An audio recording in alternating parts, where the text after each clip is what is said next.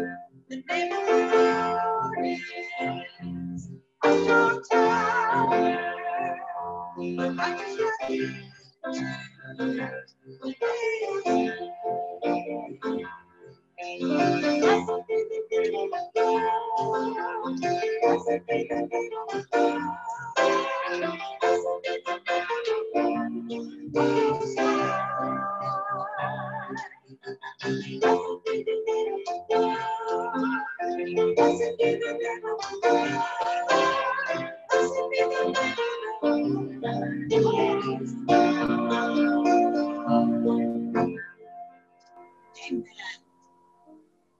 we travel through the unknown, and these times are full of much that is unknown, we know that God will take care of us as God took care of the Israelites in the desert.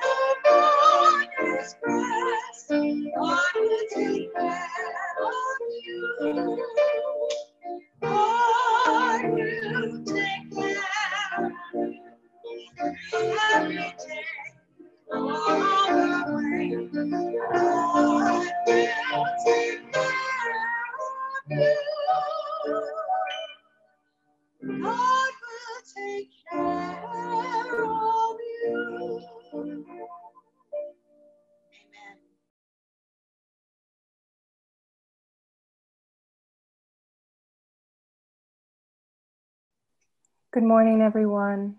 Won't you pray with me? Here we are, Lord. We come together to live into being your people, to continuously perfect what it means to join in praise, to live in community with one another, and to bring justice into your world. We are in need of your comfort and peace, Lord.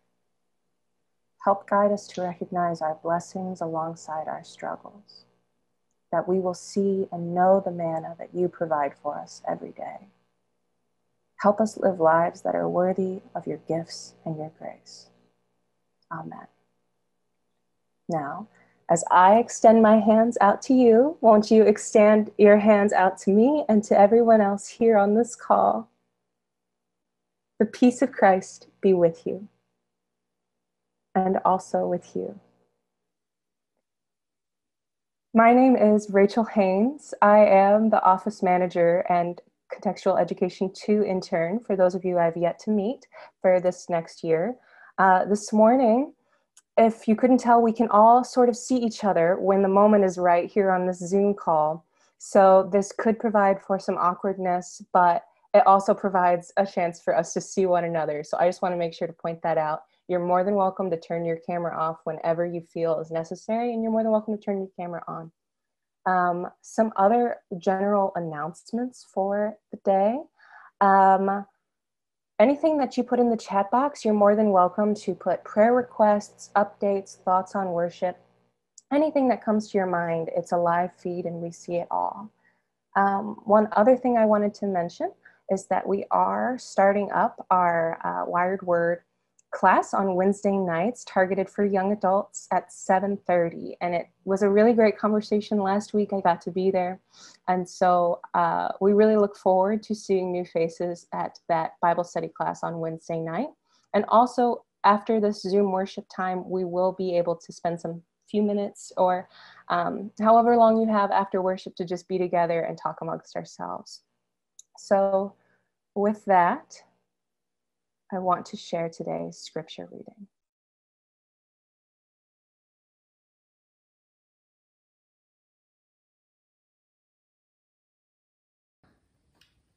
Good morning, Grace.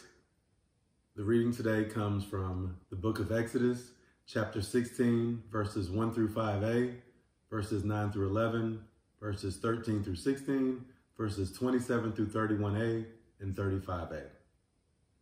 The whole congregation of Israelites set out from Elim, and Israel came to the wilderness of Sin on the 15th day of the second month after they had departed from the land of Egypt. The whole congregation of Israelites complained against Moses and Aaron in the wilderness.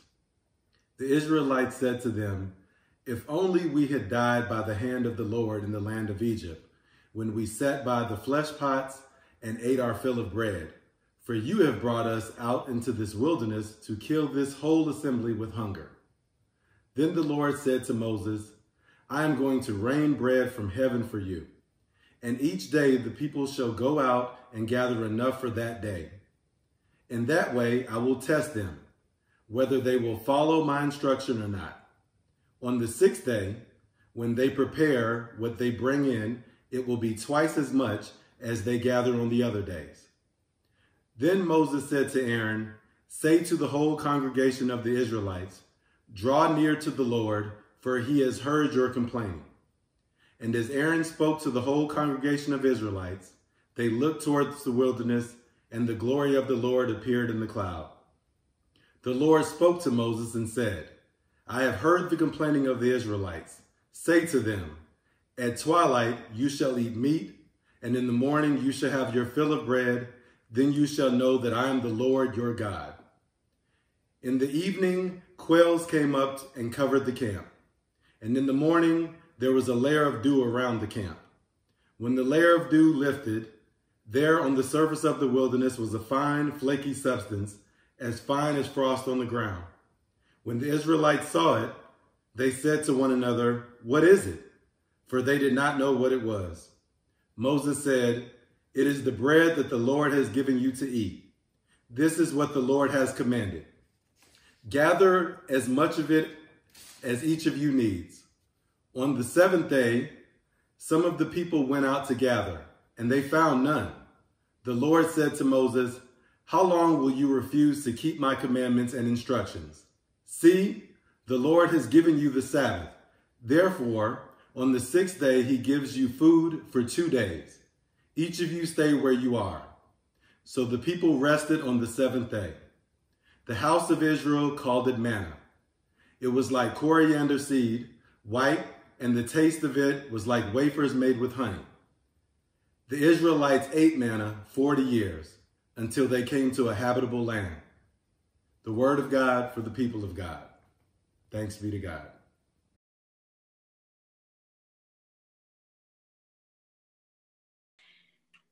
What are you hungry for when you don't know what you're hungry for? It was figured out in a commercial years ago with the primary speaker being Matlock, uh, well, Andy Griffith. He starts out, What are you hungry for? Try Swiss cheese on a crisp Ritz cracker. Put a chunk of ham on a crisp Ritz cracker.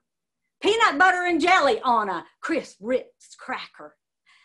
Onion dip on a crisp Ritz cracker. Mmm, mmm, good. What are you hungry for when you don't know what you're hungry for? Something on a cracker? Mm, not really, except in a superficial way that doesn't stave off real hunger for very long. In these times, we are in the wilderness and we're hungry too hungry for normalcy, for greeting one another, anxious to fully be at work. And still, we can't help grumbling a little bit. But we're out here in another wilderness. The pandemic has revealed how wide and wild it is. We see the economic divide we see the remnant of Jim Crow laws in racial injustice in policing and incarceration. We see the very glue of truth and democracy unraveling. If we look back and long for Egypt, well, remember, there were enslaved peoples there and there were other people's distorted thinking that trapped them in cruelty and privilege. It makes us simple, uh, sympathetic for the children of Israel, doesn't it? Of course, Moses gets fed up with them, let alone God. But this story is not like a child who's whining for a hot dog instead of Brussels sprouts. This is real, fearful hunger, physical hunger, and spiritual hunger. Perhaps they are two sides of the same coin. This whole of our life, the Israelites were not wrong to cry out in their need. And Moses was not wrong in letting them know that their complaints were not against him, but against God. The instruction God gives is this don't hoard it, don't save it overnight. Trust the Lord to give you enough every day. Later in the story, we find out that some of them did not all obey. Some tried to collect more than others, but it didn't matter. When they got home, they just still had an omer's worth. Some tried to keep it overnight, and then it bred worms. The point is, they had to trust God every day to supply their need. And God intended it this way. But think, for 40 years, when they came home, nobody had to ask, What's for dinner? It got old. In the book of Numbers, that tells another part of this story, we get an even longer account of the people complaining about manna. In Egypt, we used to get fish and cucumbers, melons, onions, leeks, and garlic. But now our strength is dried up, and there is nothing at all but this manna to look at. Kind of reminds us of the four walls some of us are having to look at each day. They tried to make it better. They ground it, they boiled it, they made it into cakes. Perhaps this was the original idea of manna helper. No matter, it was still manna. Not less, but just what was needed. That's behind the petition that Jesus gives in the prayer he taught us. Give us this day our daily manna. As the hymn goes, bread of heaven, feed me till I want no more.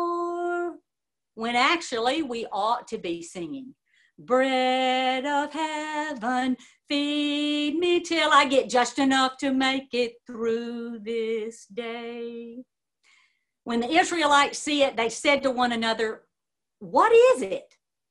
God graciously had put food all over the ground for them. But their first response was, What is that? Have you ever been confused about something that eventually became a blessing? Then we know what it means to look at manna and ask, What is it? probably the worst part of their complaint was that where they had been was starting to look better than where they were. Ah, the good old days. How we long for them when the wilderness seems too dark and too scary. Even though at least part of us knows that the good old days were not all that good and in some cases, they were horrible. Their hunger almost caused them to settle for less, to go back to live as slaves because there at least they could eat. Instead of living in this freedom that is too scary, too wild, and too dangerous. This seems to be the option open to us giving in or being uncertain, not trying a new thing, or having to struggle every day. What is it? Hardly seems adequate, don't you think? Unless it is the right question. What is it that God is doing in our midst in these times? Now, that's a question that can keep us moving we think we are hungry for answers, but maybe we are hungry for the right question. Psalm 105 says, I will praise the Lord. But it goes on to say, What is the Lord doing for us? that we can praise. When we are invited to give thanks to the Lord, we know how to do that. We've already praised God in our prayer and in our music. But when the invitation goes on to say, make known God's needs, God's deeds among the people, what is it the Lord is doing? What are we responding? We often stumble. That gets a little harder because we have to remember our dependence upon God. We can go and read the Bible to people all around us. See, we can say, This is what God has done in the past. Aren't you impressed? But what most people who don't know the stories of the Bible, they say, but what is God doing now? What is God doing in your life? Right here in this particular part of the wilderness we are in, this is a time of our wandering. God has brought us thus far by faith. But what is it that God is doing now with you in your life, in our nation? What is it, we ask? This unrest, this injustice, this inequality, this longing to belong, this need for family that is beyond birth family. What is it? Jesus said in John 6, in referring to the story from the Exodus about manna, I am the bread of life. Cyprian, a third century bishop in North Africa, appealed to the story of manna as a sacrament of equality. We see in the sacrament, he says, when the manna flowed down from heaven without distinction, either of sex or of age, everyone received equally. Just as the mercy of Christ was equally divided among all, no matter their race or creed or sex. If all God has to offer is manna, some people would rather starve.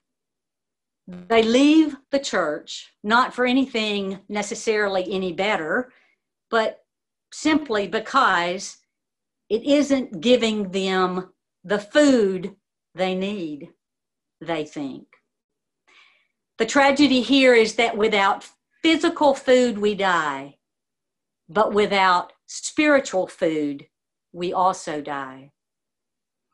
If all God has to offer manna, some respond by settling down, planting a garden to hoard and protect.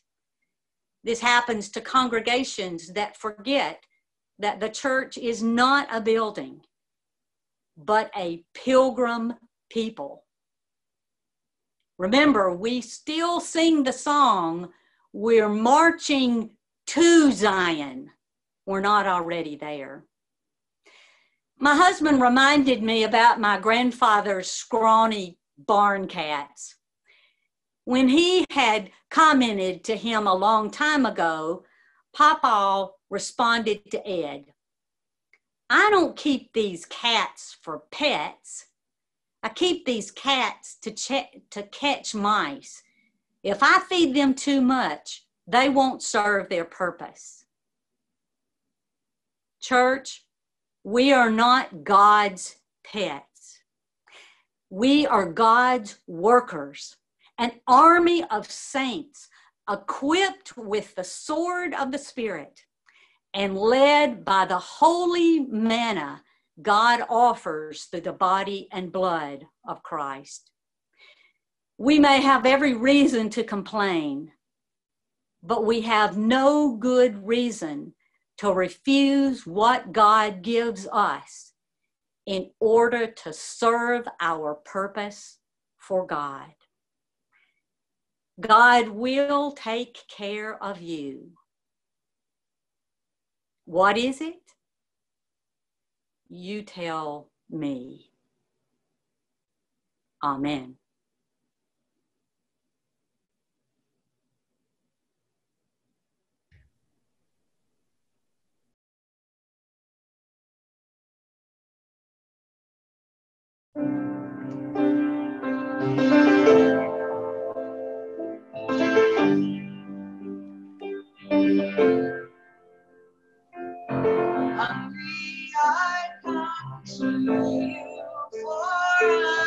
Know you satisfy. I am empty, but I know your love does not run dry. So I wait for you. So I wait for you. I'm falling on my knees,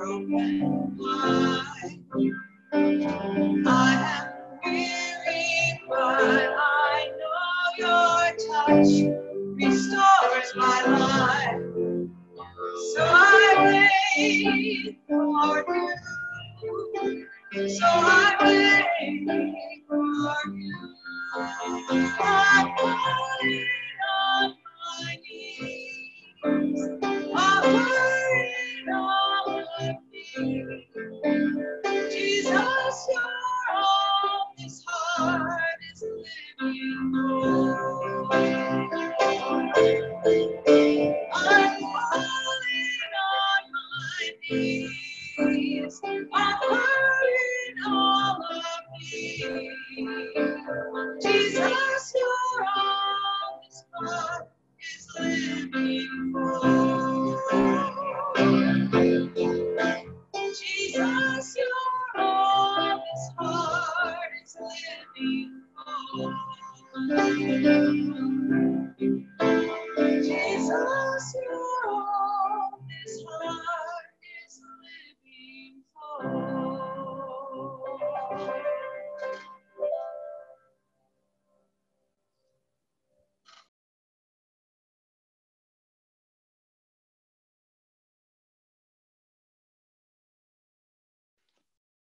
Good morning, Grace.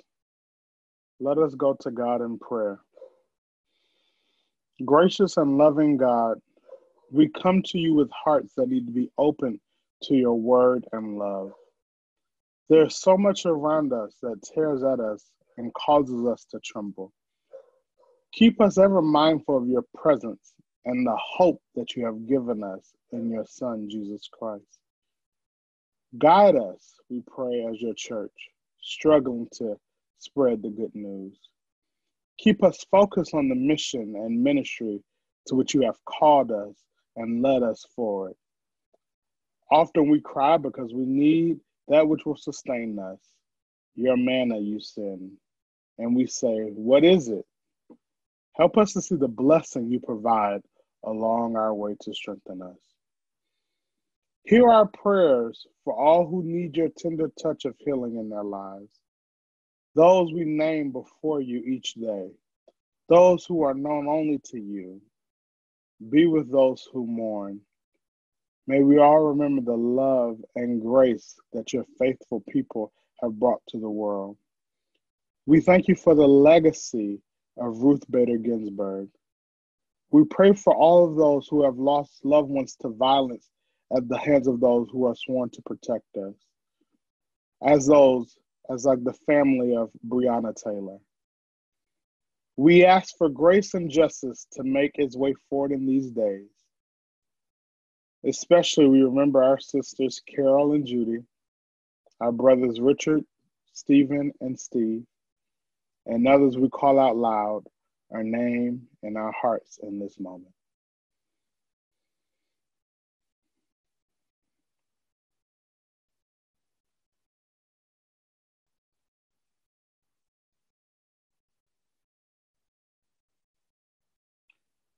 We pray for all of your creation, always at odds with one another. God, our leaders and those of other nations, that this world might be truly as you created to be a world of peace, hope, and love.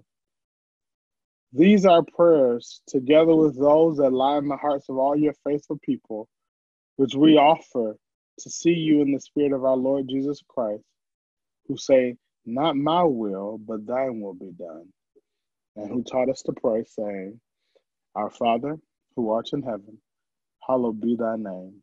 Thy kingdom come, thy will be done, on earth as it is in heaven. Give us this day our daily bread, and forgive us our trespasses, as we forgive those who trespass against us. And lead us not into temptation, but deliver us from evil. For thine is the kingdom, the power, and the glory, forever and ever. Amen.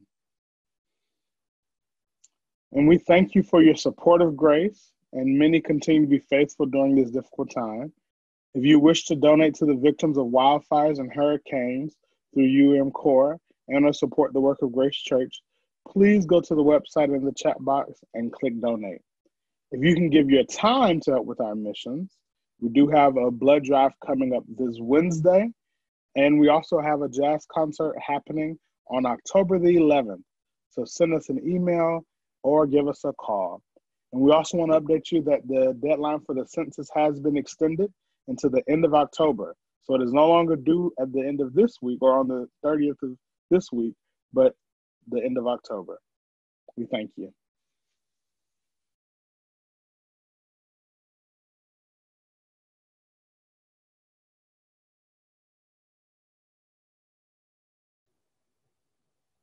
As we head into the week, let's let the Lord lead us by the hand.